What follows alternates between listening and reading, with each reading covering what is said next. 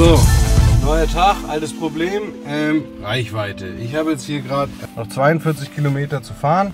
Ähm, jetzt habe ich Mercedes gerade gesagt, Was wo ich... kann ich für dich tun? Ja, danke. Äh, danke Mercedes, lass uns mal ganz kurz in Ruhe. ähm, habe ich hier gesagt, wo ich hin möchte? Ich bin jetzt im Schwarzwald, ich möchte nach Leonberg, danach nach Stuttgart und äh, am Kannst besten... du das bitte noch einmal sagen? Nee, ich möchte es nicht nochmal sagen. Lass mich mal kurz in Ruhe, bitte. Danke. Ähm, Entschuldigung, Oh. dabei kann ich dir gerade nicht helfen. ich weiß, dass du mir nicht helfen kannst. Ich muss mir selber helfen. Auf jeden Fall will ich aus dem Schwarzwald nach Leonberg, von Leonberg nach Stuttgart und äh, am besten heute noch zurück in den Schwarzwald. Ich habe also jetzt hier die Strecke nur nach Leonberg eingegeben vom Schwarzwald. Ähm, ein bisschen in der Mitte des Schwarzwalds. Ähm, da braucht man normalerweise bis nach Stuttgart die 81 hoch mit einem normalen Auto so eine Stunde. Ich brauche jetzt mit ähm, ungefähr 15 bis 20 Prozent Akku, also 42 Restkilometern, brauche ich jetzt hier laut Navi mit Electric Intelligence ja fast zweieinhalb Stunden inklusive Laden. Wenn ich jetzt hier drauf drücke, kriege ich die Details. Er will also, dass ich sogar zweimal lade. Ähm, er möchte irgendwo auf dem Weg äh, unten, dass ich lade, wo ich jetzt bin und äh, dann nochmal äh, an der Autobahn, damit ich dann da hochfahren kann. Ähm, wenn ich quasi zurück zur Navigation gehe, sagt er mir auch, wie viel Restakku ich dann noch habe. Das heißt, am Ziel habe ich dann 10% Restakku. Das heißt, wenn ich dann in Leonberg bin und nochmal nach Stuttgart möchte, muss ich im Prinzip eigentlich in Leonberg gleich nochmal laden. Da in Rudesheim gibt es äh, an der Autobahn so eine große NBW-Tankstelle, die ist ganz neu mit irgendwie Schnellladesäulen. Kann ich mich also nochmal hinstellen. Wenn ich mich da eine Stunde hinstelle, ist es mehr oder weniger voll und dann komme ich, denke ich, auch nach Stuttgart und wieder hierher zurück. Ähm, insgesamt habe ich dann auf dem Hinweg ja schon 50 Minuten an irgendeiner Ladesäule gehangen und muss dann, damit ich zurückfahre, mich im Prinzip nochmal 50 Minuten oder was an der Ladesäule hängen. Das heißt, für den heutigen Trip Mittelschwarzwald, Leonberg, Stuttgart und zurück muss ich insgesamt, weil ich nur 42 Kilometer gerade im Akku habe, muss ich mich noch zwei Stunden dieses Tages an irgendwelchen Ladesäulen begeben. Also mit den 42 Restkilometern, die ich jetzt hier noch habe, werde ich mich aber sicherlich nicht an diese Angabe hier halten, dass ich in 6,3 Kilometern mich 50 Minuten an irgendeine Ladesäule stelle, nur mich dann irgendwie 20 Kilometer weiter nochmal an eine andere Ladesäule zu stellen. Ich weiß, dass diese in 28 Kilometern die Ionity-Säule ist. Ich werde die hier natürlich überspringen mit meinen 42 Kilometern äh, dahin fahren, wo die Ionity-Säule ist und mich lieber da eine Stunde hinstellen, als statt hier eine Stunde und da. Ich melde mich nachher, wenn wir an der Ionity-Säule sind, nochmal. Ähm, begleite mich auf dem Abenteuer.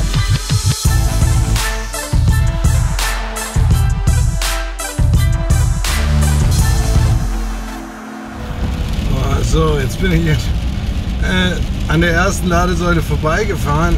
Ähm, Mal schauen, vielleicht war das doch eine so gute Idee. Zeigt mir jetzt noch 22 Kilometer an. Ich musste äh, ein paar Berge hoch und runter fahren. Da hat es dann doch mehr gezogen.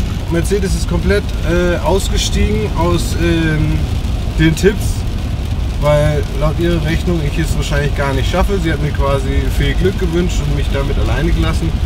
Mal schauen, ob ich das schaffe.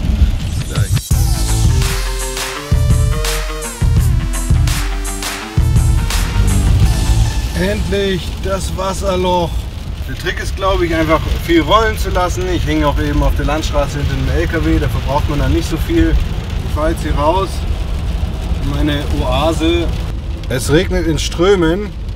Ich fahre also nicht hier an die Tankstelle, wo es schön überdacht ist, ein Shop ist, wie die Verbrennerfahrer. Die Ionity stehen also hier ziemlich weit hinten am LKW-Parkplatz. Ohne Überdachung, ohne gar nichts. Das funktioniert jetzt so. Hier gibt es ja, diese Mercedes Me Charge, Mercedes Charge Me Karte.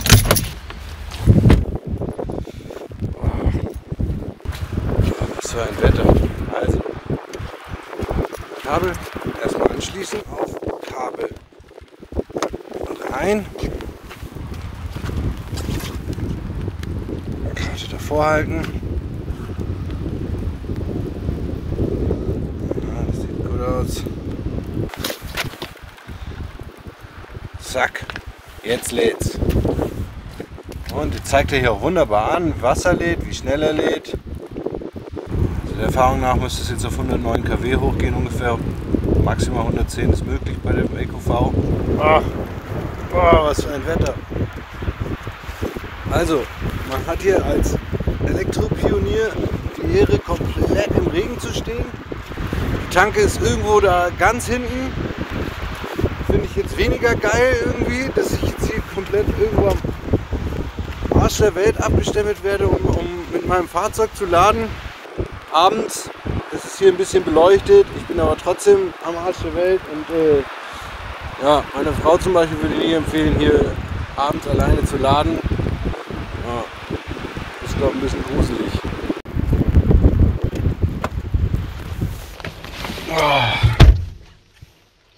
Ja, also das ist nicht so ein super schönes Erlebnis, muss ich ganz ehrlich sagen.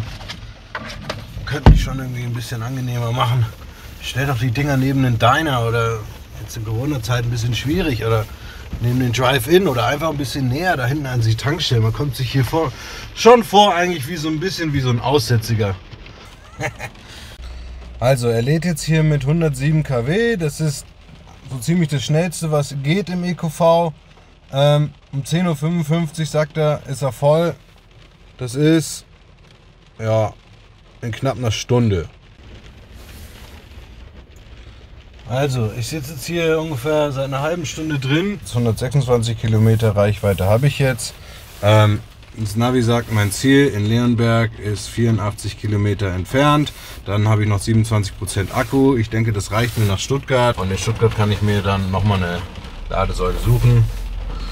Ähm, soweit ich weiß, sind da größtenteils eh nur ENBW-Säulen. Äh, am Finanzamt in der Stadtmitte ist eine Schnellladesäule. Ansonsten muss ich sagen, dass Stuttgart, was Schnellladesäulen angeht, ziemlich schlecht ausgestattet. Ja, und das als Autostadt.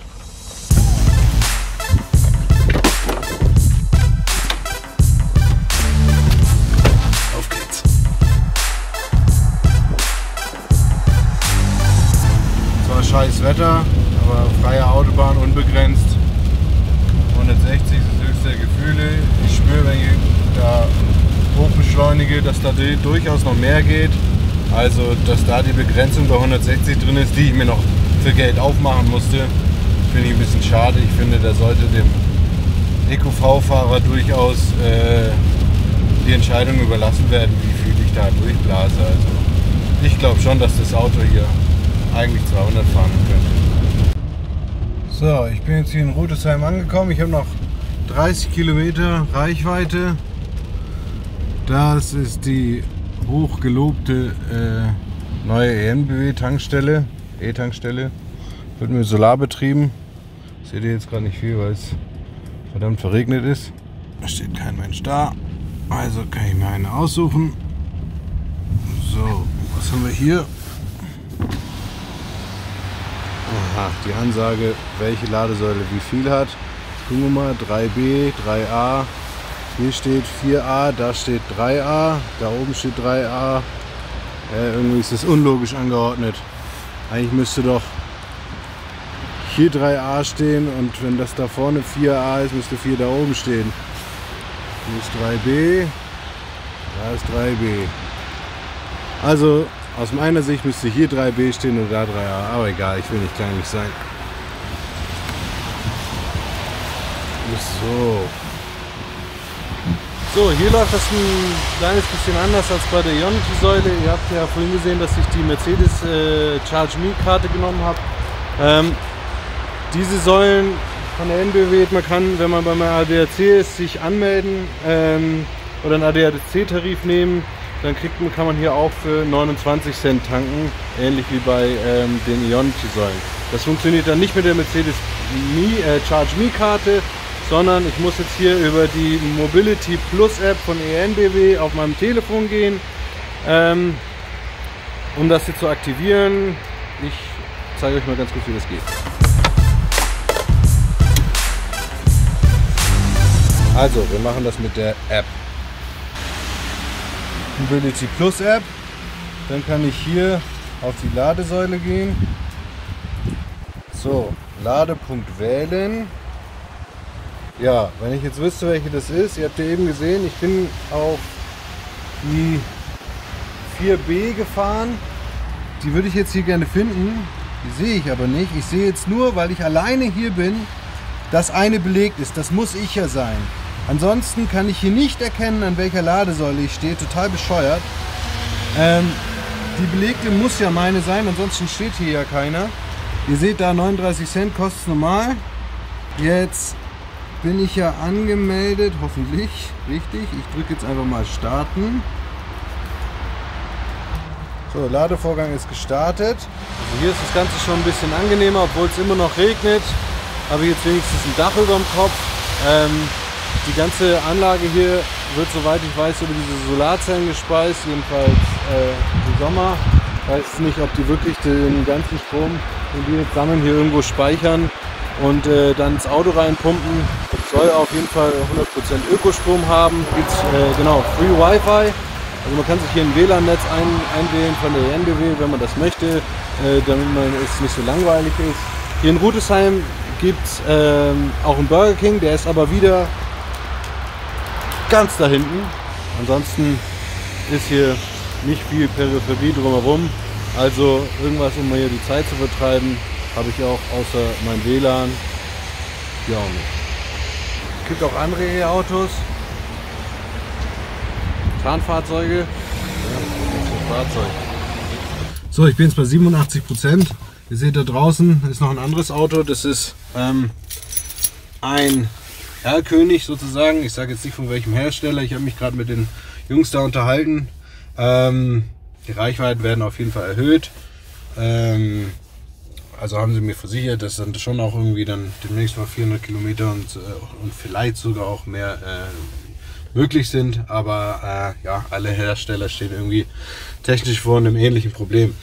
Ich werde jetzt hier ausstecken. Ähm, ich glaube, ich habe jetzt genug Akku, 88 Prozent, um noch nach Stuttgart und später zurück in Schwarzwald zu kommen.